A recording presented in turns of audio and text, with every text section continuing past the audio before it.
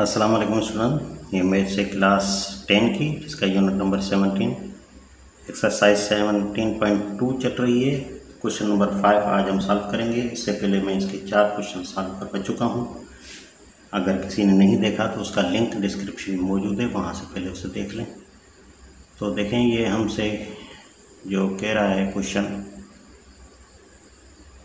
question number five if A is equal to two N such that N belongs to N यानी two N जो है वो N से, यानी natural number से बिलोंग ये एन है, कोई एलिमेंट है, लेकिन वो बिलोंग किससे करता है? नेचुरल नंबर से करता है। फिर B is equal to three N है, फिर एन जो है बिलोंग्स करता है नेचुरल नंबर से एंड फोर एन है, फिर वो जो है एन एलिमेंट है, वो बिलोंग्स करता है नेचुरल नंबर से। तो ये क्वेश्चन सॉल्व करना A intersection B A union B और बी इंटरसेक्शन सी तो पहले देखें। पहले थोड़ा सा हल्का सा इसे सॉल्व कर लेते हैं। ये एन हमारे पास क्या है? एलिमेंट है, जो नेचुरल नंबर का है। नेचुरल नंबर कहाँ से शुरू होते हैं? वन टू थ्री और यहाँ पे डैश डैश डैश यहाँ तक हम टेन तक लिख लेते हैं, ठीक है? अब यहाँ देखें, पहला जो स्टेप है हमारे पास ए ए है टू एन टू एन का मतलब है कि ये बीच में निशानी नहीं है तो मल्टीप्लाई की निशानी है तो टू मल्टीप्लाई करेंगे एन के साथ। यानी ये जो नंबर्स हैं सब के साथ टू मल्टीप्लाई करेंगे तो वन के साथ टू मल्टीप्लाई करें तो ये टू हो जाएगा। फिर टू से करें तो फोर हो जाएगा। थ्री से करें सिक्स हो जाएगा। यानी टेन तक टू टू की टेबल जो है पढ़ेंगे तो ये ट्वेंटी तक लिख लेंगे इसे, ठीक है? आप चाहे तो फोर्टीन तक लिख लें सिक्सटीन तक लिख लें, कोई मसला नहीं है। ये ट्वेंटी तक हमने लिख लिया। ठीक, ये हो गया इसमें। अब देखें बी बी भी इसी थ्री एन है तो थ्री से मल्टीप्लाई होगा ये एन के नंबर जो हैं, वो थ्री से मल्टीप्लाई होंगे। तो थ्री की टेबल पढ़ हैं six nine twelve fifteen eighteen फिर twenty one twenty four twenty seven and thirty तो ये हमने कर लिया। अब अब C is equal to four N है। तो C is equal to four से मल्टीप्लाई कर लें। ये ये नेचुरल नंबर फोर से मल्टीप्लाई करें तो फोर की टेबल पढ़ लें। एट ये ट्वेल्व सिक्सटीन ट्वेंटी फिर ये ट्वेंटी फोर ट्वेंटी एट फिर थर्टी टू थर्टी सिक्स और आखिर में फोर्टी ठीक है? ये सारे नंबर्स हमने लिख लिए। अब हमने क्या करना है? ए इंटरसेक्शन बी तो लिख लेते हैं, ये ए ये इंटरसेक्शन ये बी तो पहले ए की रकम लिखें ए की रकम हमारे पास है। टू की टेबल है। टू फोर सिक्स एट और डैश डैश डैश ये ट्वेंटी तक है। ये ट्वेंटी से भी इसको आगे हम कर सकते हैं। यानी जितना नंबर दिया है। ये तो मैंने डेस्ट डेस्ट लगा दिया। टेन तक ख़त्म कर दिया ऐसे लेकिन टेंथ तक ख़त्म नहीं करना, ये टेस्ट टेस्ट लगा दें सब पे। ये सब पे आगे टेस्ट टेस्ट है, ठीक? तो इसको भी टेस्ट टेस्ट करते हैं। और यहाँ इंटरसेक्शन क्योंकि नेचुरल नंबर से शर्त नहीं ले गई कहाँ तक। ये मैंने टेंथ तक कर दिया था समझाने के लिए, लेकिन ये आगे तक भी है, ये भी आगे तक है, ये भी आगे तक है, और ये भी आगे तक है, ठीक है? तो इंटरसेक्शन बी की रकम लिख लें। तो बी की रकम हमारे पास क्या है?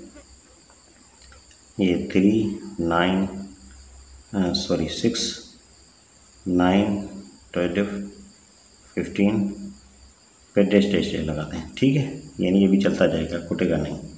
तो जब इनका इंटरसेक्शन निकालेंगे हम ए इंटरसेक्शन बी निकालेंगे तो ये हमारे पास होगा। इंटरसेक्शन में वो लिखते हैं कि दो, दोनों में एक जैसे हों। तो एक जैसे कौन से हैं दोनों में? ये सिक्स देखें सिक्स से स्टार्ट हो रहा है। और फिर क्या एक जैसा है सब में? फिर एट है यहाँ पे एट इधर नहीं है, फिर टेन है टेन भी नहीं है, फिर ट्वेल्व है, ये ट्वेल्व है। इसका मतलब है कि सिक्स की टेबल एक जैसी जाके लगेगी। और यहाँ पे डेस्ट डेस्ट डेस्ट करते हैं, ठीक तो इसका जब हम आंसर निकालेंगे, यानी ए इज़ इक्वल टू तो ये जो है टू एन है। तो इसको हम क्या कर देंगे? यह ये जो पहला डिजिट है अभी सिक्स से शुरू हो रहा है। टू एन ये सच दैट यानी एन बिलोंग्स टू तारपुर रखता है एन सच ठीक तो ये हमारा आंसर हो जाएगा। इसी तरह हम ये यूनियन कर देंगे। ए यूनियन सी पहले ए की रकम two four six eight ten और ये डैश डैश ठीक है? फिर ये यूनियन फिर सी की रकम लिख लें फोर की table four eight twelve sixteen twenty twenty four और ये डैश डैश कर लें, ठीक है? अब हमने क्या करना है? ए यूनियन सी मालूम करनी है। यूनियन में आपको मतलब पता है कि सारे मेंबर तो लिखे जाते हैं, जो दोनों में होते हैं तो टू से शुरू होगा टू भी है फोर भी है सिक्स भी है, यानी टू की टेबल पूरी आ जाएगी इस पर ठीक है? एट टेन और ये टेस्ट टेस्ट तो यहाँ शुरुआत कहाँ से हो रही है? टू से हो रही है। तो ये जो बी है हमारा थ्री एन अब जाके होगा ये B is equal to two N से होगा, यानी two N belongs to N ठीक है? तो ये हो जाएगा हमारा आंसर और इसी तरह अब बी इंटरसेक्शन सी है। तो ही कर लेते हैं। ये बी हमारे पास है three six nine dash dash dash लगा दें और इंटरसेक्शन सी हमारे पास है four six four eight twelve sixteen dash dash लगाते हैं। ठीक है। तो ये बी इंटरसेक्शन सी जो हमारे पास आंसर आएगा इसका। देखें, कहाँ से शुरुआत हो रही है इसकी? अगर आप देखें तो ये ट्वेल्व से शुरुआत, ये शुरू हो रहा है, क्योंकि three six nine, three six nine इसमें नहीं है, फिर बाद में ट्वेल्व आ रहा है, ट्वेल्व लिख दें, ठीक?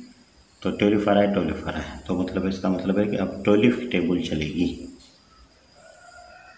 छत्तीस, अड़तालीस सिक्सटी और ये डिश डिश। तो यहाँ से शुरुआत ट्वेल्व से हो रही है तो वो भी हम इसी तरह लिख देंगे। C is equal to twelve N such that जो है एन बिलोंग्स टू एन तो ये लिख देंगे हम। तो ये था आज का क्वेश्चन इसके साथ ये एक्सरसाइज भी ख़त्म हो गई। नेक्स्ट एक्सरसाइज तक के मुझे इजाज़त दीजिए। अल्लाह हाफिज़।